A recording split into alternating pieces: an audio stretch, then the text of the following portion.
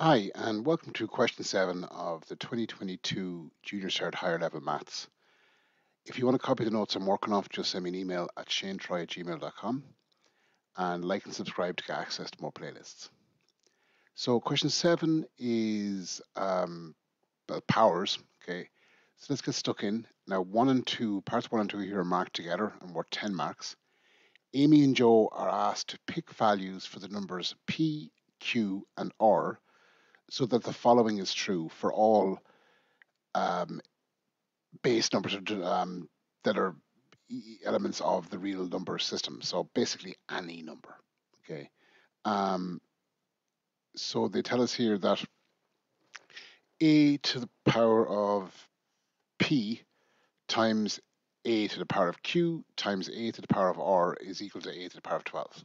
Okay, now we know that when you multiply, let's just use an example let's say 2 squared times 2 to the power of 3. When you have the same base number, you can add the powers. Okay, so that is the same thing as 2 to the power of 2 plus 3 is 5. Now, that's the same thing here in a sense. Okay, if I do it down here, um, P plus Q plus R must equal 12 because if you're multiplying the same base numbers and the same base number the whole way across, you're going to add these little numbers. P plus Q plus R equals 12. And that's the trick. So it says here, Amy picked three values that were all the same. So P is equal to Q is equal to R. Write down the values of P plus P, Q, and R that Amy picked. Now, if these are all the same number, like we could represent them with the same variable. I'm just going to choose X for simplicity. So X plus X plus X is the same thing as 3X which equals 12. Now, if I want to get x, I can divide this by 3 to cancel them.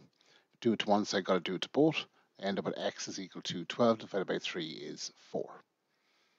So the values there um, would be 4, 4, and 4. Now in part 2 here it says Joe picked three values that were all different.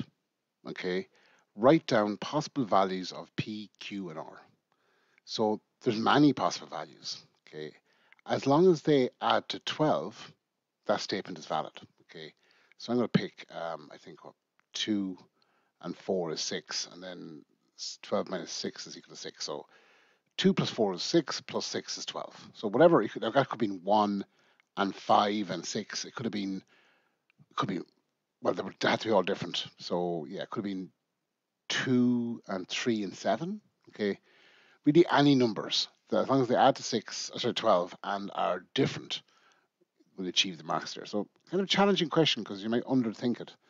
Um, or rather, sorry, overthink it and think it just must be harder than this and try different strategies. Um, that's the answer there. So part B here says, find the value of m so that the following is true for all values of b, and it's just saying that all values of b are um, real numbers. Okay, so this is just powers, and if you know the rules of powers and they're in the math tables, I can see there that the top one here, they're the same base number, so I can add the numbers. So that's the same thing as b to the power of m plus negative 2. I'm going to keep everything else the same. Okay, I'm just going to focus on that. Now that's the same thing as b to the power of m minus 2 over b is equal to b to the power of 10. Now then the second rule of power says if I have two base numbers that are the same and I'm dividing them, I can take away the little numbers. That's the same as b to the power of m minus 2, take away 1. Now I know there's a power of 1, even though we don't say it. There's a power of 1 there, so that's taken away from the top, that's, so subtraction, is equal to b to the power of 10. Now I'm going to continue on up here. Um, if I add this, the powers here, so it's b to the power of, now m minus 2 minus 1 is minus 3. And that equates to b to the power of 10. Now, if we have two base numbers here that are equal, we can focus in on the powers. Okay, so m minus 3 okay, is equal to 10. Now, this is fairly simple. All I have to do now to finish off is I want to get rid of the 3, so I'm going to add 3 to the left. If I do it to one side, I have to do it to both. I'm left with they cancel. Uh, 10 plus 3 is 13. And that should be it. Um, right.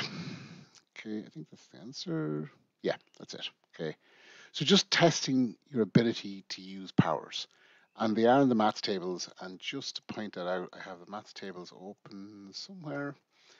If I go to the contents and go to indices, indices are powers and logs, that's rule one.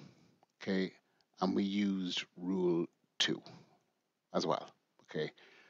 And that's it. Now, um, that's the end of question seven, short and sweet.